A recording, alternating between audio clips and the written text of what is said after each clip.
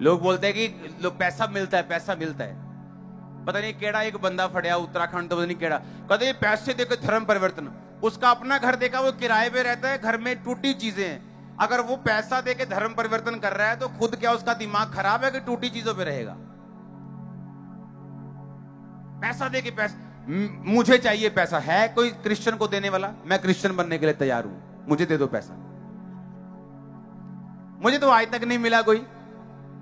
तो लभते फिरते ले आओ चर्च से लाइए पैसे चाहिए हाले यहाँ कोई फॉरनर नहीं है जो 200 करोड़ 100 करोड़ भेज रहा है 10 करोड़ भेज रहा है।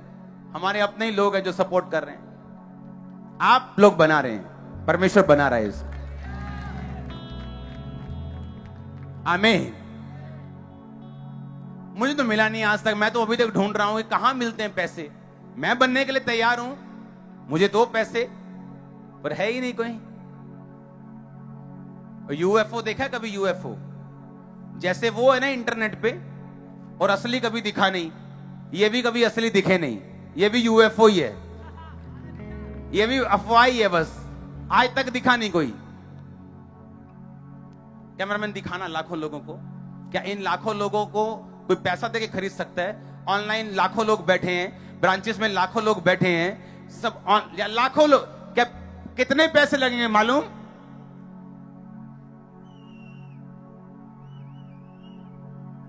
इतने लोगों को अगर एक एक एक लाख रुपए भी दो तो कितने हज़ार करोड़ लगेंगे? अगर इतने हज़ार करोड़ होता तो टेंट में होते हम? कहाँ गई बुद्धि तुम्हारी? कहाँ चरने गई है बुला लो वापिस। कहाँ बुद्धि गई तुम्हारी? इतने हज़ार करोड़ अगर होता, दस हज़ार करोड़ अगर होता तो हम रात को यहाँ पे वो पानी ज़मीन से नहीं निकाल रहे होते। यहाँ पे सोने की दीवारें लगी होती। टेंट लगा, टेंट नहीं, सोने की दीवार होती। सुनो मेरी बात। यीशु मसीह को अगर आप प्रीच नहीं करोगे, जितना आप प्रीच करोगे, उतना वो काम करेगा। उतना वो आपकी फैमिली में काम करेगा। उतना वो आपके फाइनेंस में काम करेगा। हम नहीं बोएँगे, लंगड़े चलते हुए देखकर भी गरीब रहेंगे। ये फैक्ट है, ये सच्चाई है, ये ट्रूथ है। और ट्रूथ तुम्हें आज़ाद करता बाइबल कहती